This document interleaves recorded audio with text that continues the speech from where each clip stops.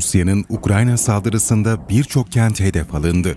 Rus savaş uçaklarının yerleşim bölgelerine füze fırlattığı anların görüntüleri korkuttu.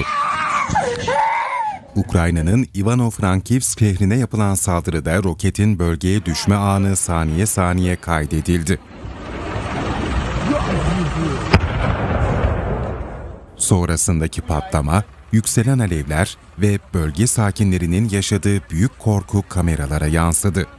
Dnipro kenti sakinleri de patlama sesine uyandı. Kentin yakınlarındaki patlama anı böyle kaydedildi.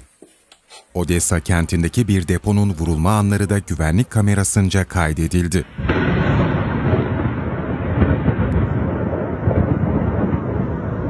Vurulan noktalardan biri de Lviv Oblast'ında Ukrayna Silahlı Kuvvetleri'ne ait bir mühimmat deposuydu. Saldırı sonrası oluşan yoğun duman kilometrelerce uzaktan görüldü.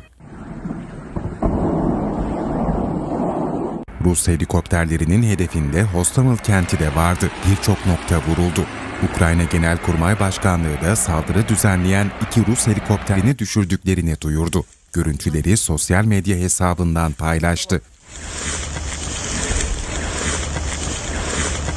Mariupol, Harkiv, Dnipro, Svatov, Herson kentlerinden de saldırı anlarına dair görüntüler paylaşıldı. Patlamalar birbiri ardına geldi. Şehirlerden dumanlar yükseldi.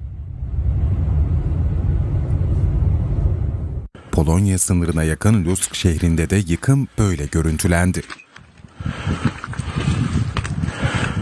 Saldırıların yanı sıra askeri hareketlilikte kameralara yansıdı. Rus askeri teçhizatının işgal altındaki Kırım'dan geçişi görüntülendi. O anlar Ukrayna sınır muhafızı birlikleri tarafından paylaşıldı.